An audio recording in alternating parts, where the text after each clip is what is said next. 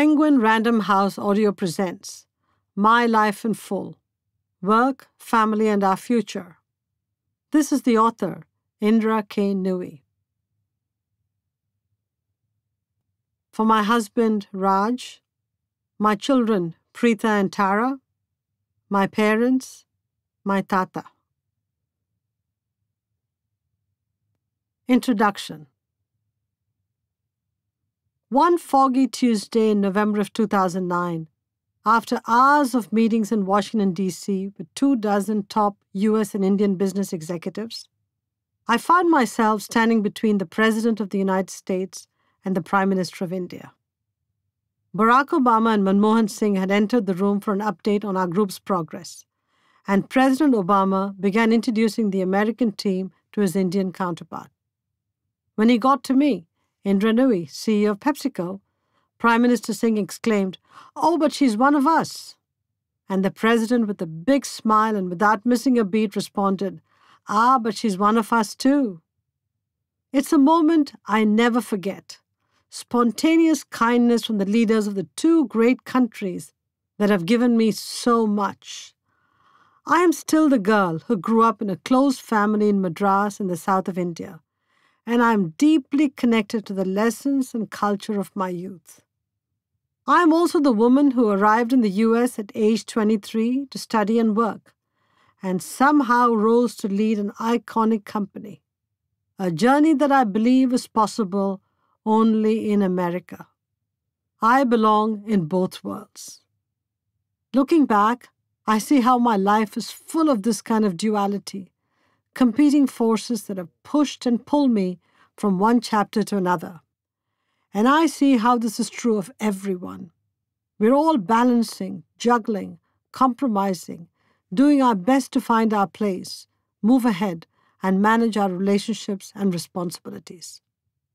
It's not easy in a society that changes very fast, yet sticks to some age old habits and rules of behavior that feel out of our control. The twin demands that define me have always been my family and my work. I joined PepsiCo in 1994, in part because the company's headquarters were close to my house.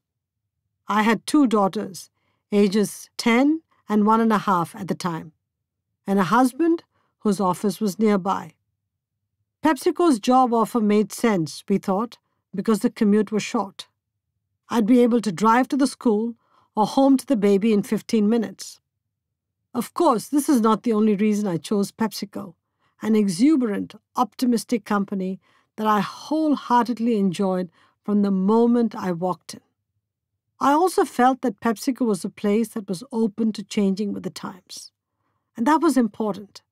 I was female, an immigrant, and a person of color, entering an executive floor where I was different from everyone else. My career had started when the dynamics between men and women at work were not the same as they are now.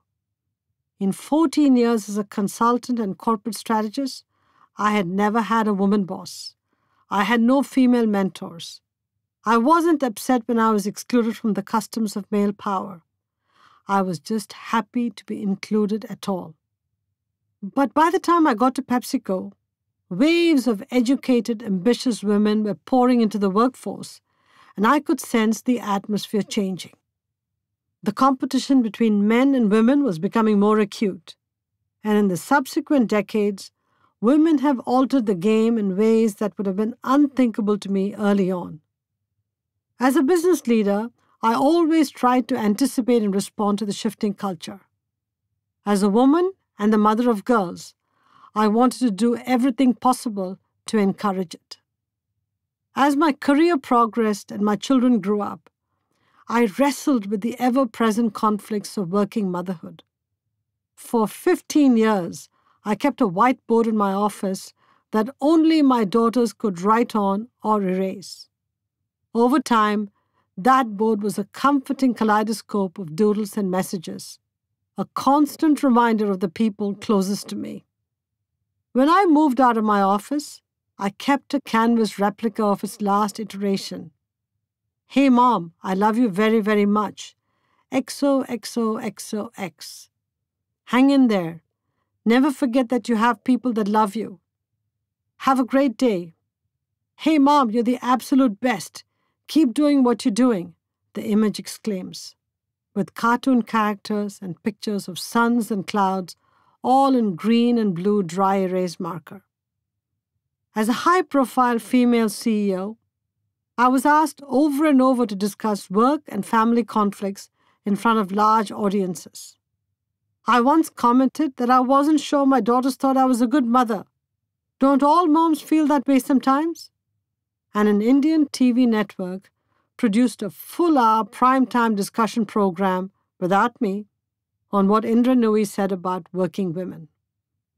Over the years, I met thousands of people worried about how to be true to their families, their jobs, and their ambitions to be good citizens.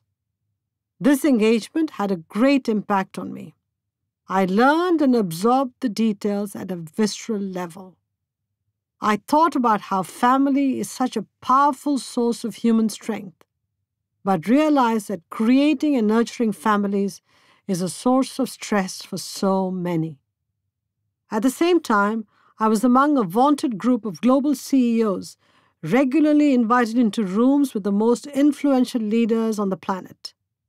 And I came to notice that the painful stories about how people, especially women, struggle to blend their lives and livelihoods were entirely absent in those rooms.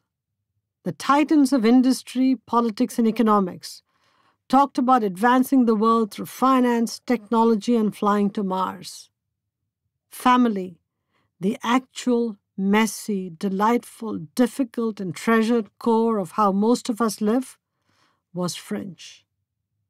This disconnect has profound consequences. Our failure to address work and family pressures in the senior reaches of global decision making restrains hundreds of millions of women every day, not only from rising and leading, but also from blending a satisfying career with a healthy partnership and motherhood. In a prosperous marketplace, we need all women to have the choice to work in paid jobs outside the home and for our social and economic infrastructure to entirely support that choice. Women's financial independence and security, so central to their equality, are at stake. More broadly, ignoring the fact that the work world is still largely skewed towards the ideal worker of yore, an unencumbered male breadwinner, depletes us all, men too. Companies lose out because productivity, innovation, and profit suffer when so many employees feel they can't bring their whole selves to work. Families lose out because they spend so much energy coping with old systems, from short school hours to a lack of parental leave or elder care that don't mesh with their reality.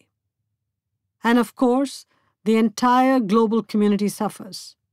Many young people worried about how they will manage it all, are choosing not to have children. This could not only have dire economic consequences in the decades to come, but on a very personal note, I find this detail sad. With everything I have accomplished, my greatest joy was having children, and I wouldn't want anyone to miss this experience if they want it. I believe that we must address the work and family conundrum by focusing our infrastructure around care with an energy and ingenuity like never before. We should consider this a moonshot, starting with ensuring that every worker has access to paid leave, flexibility, and predictability to help them handle the ebb and flow of work and family life, and then moving fast to develop the most innovative and comprehensive child care and elder care solutions that our greatest minds can devise. This mission will require leadership that we don't often see. I think the fundamental role of a leader is to look for ways to shape the decades ahead, not just react to the present, and to help others accept the discomfort of disruptions to the status quo. We need the wisdom of business leaders, policymakers, and all women and men passionate about easing the work and family burden to come together here with a can do sense of optimism and a must do sense of responsibility, we can transform our society. Transformation is difficult, But I have learned that with courage and persistence and the inevitable give and take, it can happen. When I became PepsiCo's CEO in 2006, I laid out an extremely ambitious plan to address the underlying tensions in a company still rooted in selling soda and chips. I knew we had to balance supporting our prized Pepsi Cola and Doritos brands with a full throttle effort to make and market. We hope you enjoyed this preview. To continue listening to this audiobook on Google Play Books, use the link in the video description.